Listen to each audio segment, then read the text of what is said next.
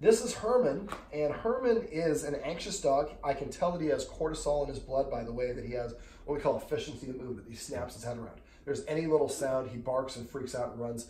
Um, him and his partner um, think that they run the show here. And so, uh, yes, I just told them that. And so basically, uh, he has cortisol in his blood, I think, because he's stressed. He thinks that his guardians are putting themselves in dangerous situations. They don't listen to him, and that stresses him out. And he that burden of responsibility has created pressure, uh, and that leads to stress, and now he's nipping.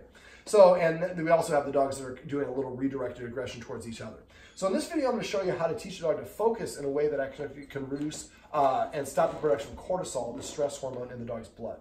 Now, cortisol is, uh, it, it, it, basically helps us if we're in a dangerous situation. It shuts down all non-essential body function, so your digestion, and puts all your body's energy towards fight or flight response. It accelerates your breathing, your respiratory, and all the rest of this fun stuff.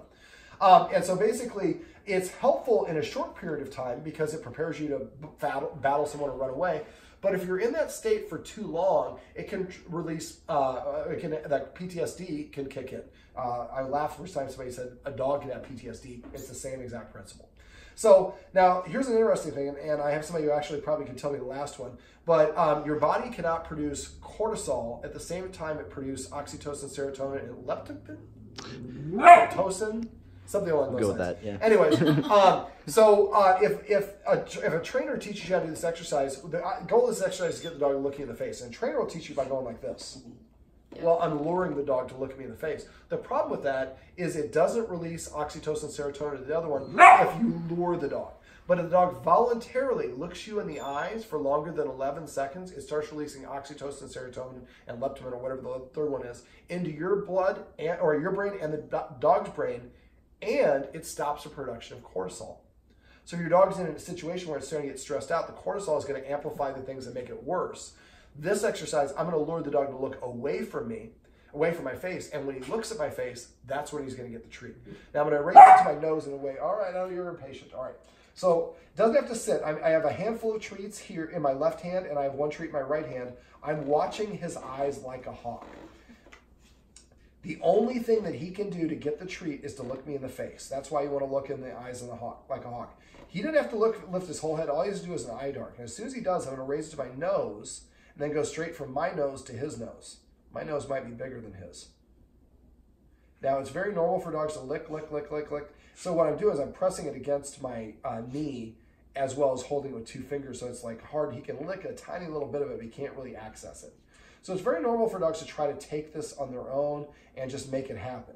Well, part of this exercise is when you don't know what to do, look up at the human for guidance. And so I'm just waiting, and this is a little bit longer than normal, but that's okay. And so as soon as he gives up and looks at me, I'm going to raise my nose in one second movement, and I'm going to go from my nose to his mouth in another one second movement. Now, sometimes I'll cheat a little bit. I'm going to try not to do that, but if I have to, I'm probably going to look, get a look right here. I sometimes will blow, but you don't want to say the dog's name or sound to get them to look up at you. We want them to accidentally do this. This is really operant conditioning. You're very determined. Now, determination can be a good thing. The focus usually works against us. The dog is focused on everything but us. This exercise taps into it and helps you learn how to teach your dog to focus on you. And you're going to assign a command word of the, uh, I like to say the word focus. And that way it becomes a powerful way to redirect your dog's attention and to call its attention to you when you need to. Focus. Ah. So it took a little patience. Now I reload right again so he knows we're still playing the game. And what we should see as we practice this is him looking at me faster and faster. Now, when you're doing this, make sure you look at the dog's eyes, uh, like I said, like a hawk. Don't look up because that one time that you look away, they might look at you, and if you miss it, it might be five minutes before they try to look up at you again.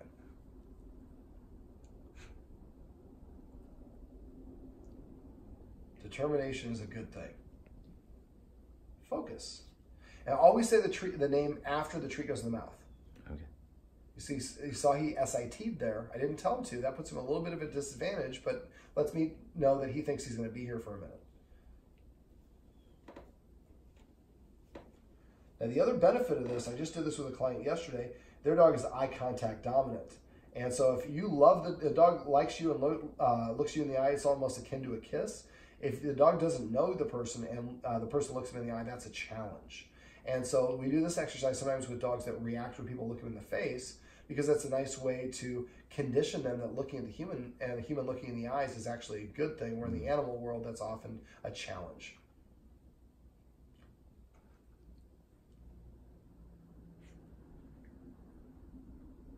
Focus. So you raise it your nose because you want to maintain the looking at your face.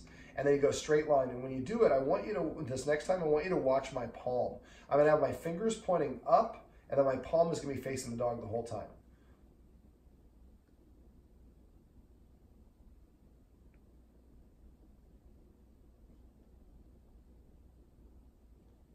And it's almost like he's objectifying the treat if he's looking at it. It's like pretty girls are like, my face is up here. It's the same sort of principle. He's grumbling and growling. yes.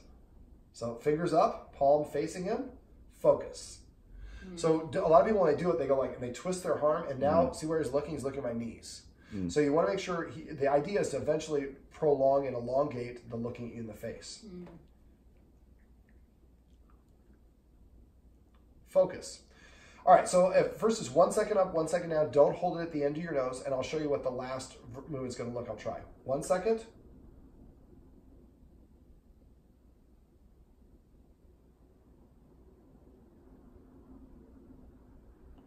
Focus. So eventually you want to get to the point where there's a 15 second delay between from your nose to his mouth. Mm. So um, when I do this, I have usually this with about 12 treats and I do all 12 treats at the same interval. So one second up, one second down. He's a character. Oh my God. yes.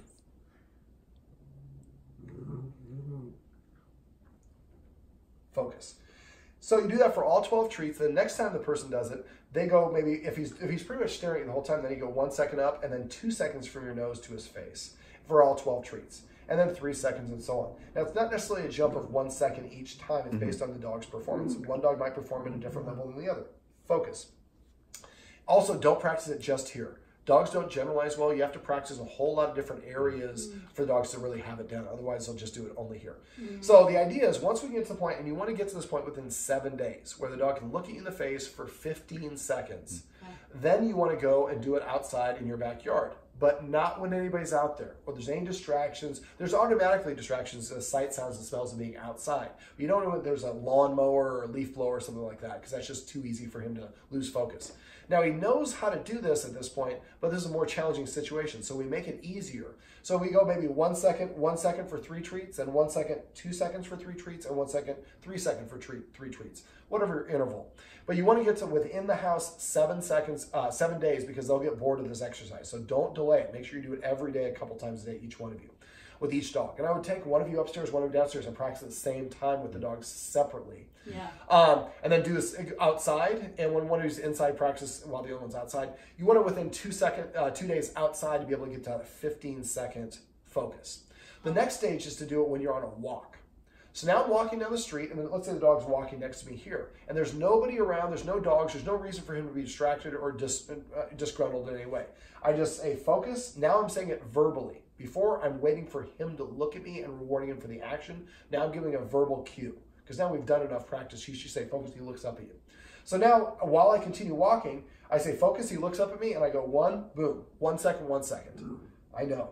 And then, uh, I, and then eventually the same thing, where and eventually it's two seconds. And eventually it's like he's running into stuff because he's walking for 15 seconds looking up at you as opposed to the people that he's mm-hmm. approaching.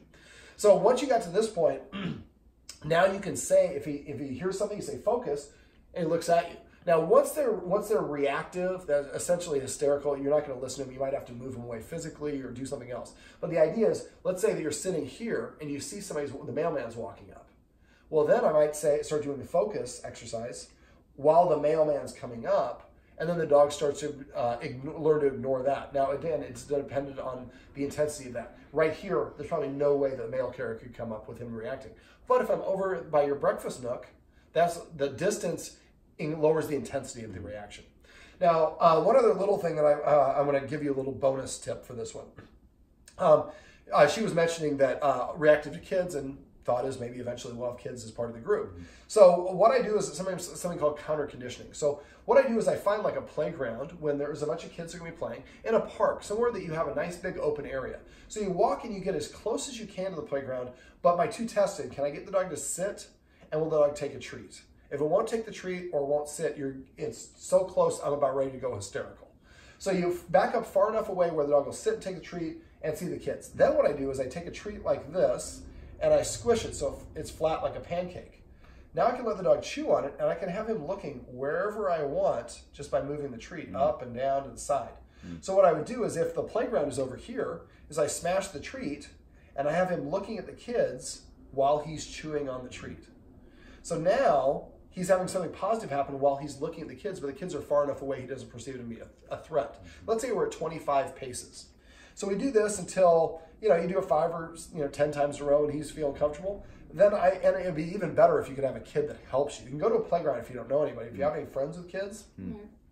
what you can do, and let me know because actually one of my P, uh, one of my puppy class instructors teaches pre-K.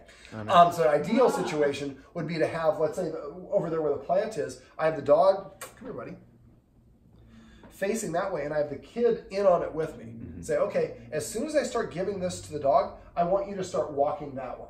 So as the dog, the child walks, he's tracking, mm-hmm. and then and he's and as soon as the treat is about to go away, I say stop, and the child freezes, and then I pull the treat away. So the only time that I, I get the treat is when the thing that I don't want happening is happening. The child is moving.